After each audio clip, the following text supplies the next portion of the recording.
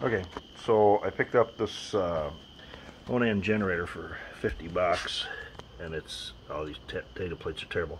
Basically, it's a 3 kW, th 3 Onan, 3 OAJ. Um, so the layout on it is pretty pretty straightforward.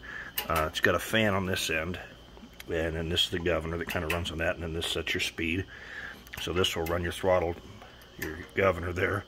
Inside here is a choke, which inside of here is a, a circular uh, fiber thing, and it, what it does is it has nichrome wire on it. So this runs over to 12 volts, and it heats up that nichrome wire, which will basically open the choke. Um, down here, we've got, uh, I guess, a fuel regulator, or fuel pump regulator, I don't know. Anyway, and then this is your shut-off valve for the fuel. It runs up here into the carb, uh, obviously the air cleaner and this is the control box for it. So you push that to stop and you hold this down to start it. Uh, got a couple 5 amp deals there. Uh, the output comes out of the bottom of that box. Um, so it kind of tells a little bit about it there. Uh, it's a single cylinder. This they call these screamers because they run at 3600 rpms as opposed to the other ones which run at 1800 rpms the muffler that I've got on there, this I don't know exactly what all it had on originally, but this is a piece of one inch steel pipe. It threads into the, the head. Uh, and on there I just put a metal flange that I got uh, at Lowe's and I bolted it with self-tapping bolts onto this old lawnmower muffler. So we'll see how loud it's going to be. So over on this side, uh, yeah, the cooling fan. So essentially it draws air in uh, yeah, draws air in through here through the generator head, which cools it, runs it across the engine, and then out the shroud over here, and it comes out on the bottom. There's a metal mesh screen on the bottom of that. So this is a low oil pressure sending unit there.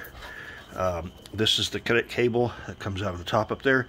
This is goes inside uh, and for your you know start and stop when you're inside the RV.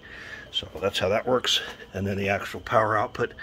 Um, I don't know where that is have to check it out. So, um, like I said, fuel line. Uh, I'm sure the power output is on there somewhere, coming out of there. So, it does have a condenser. Um, 12 volts runs in here. One unique thing about these Onans is the fact that they do not have a starter. And what it does is it uses, when you pull down this button, there's a couple windings in the generator head, and it acts as a DC starter which spins the gas engine. And then once it starts running, you release the start button, you have oil pressure, continues to run. So the nice part about these are is that they self-excite, which means that it can sit for years and, and not uh, run. And then when you go to start it up, it magnetizes the coil windings in the actual generator with the engine running and so then it immediately puts out power. So this is our 110 volt output. Uh, it's a three kilowatt generator. Uh, so that's the neat part because it doesn't have a starter. But a normal generator, uh, well I said normal, but all the, the screamers that you buy at the big box stores, if you don't use them for a year or two, whatever, they lose magnetism.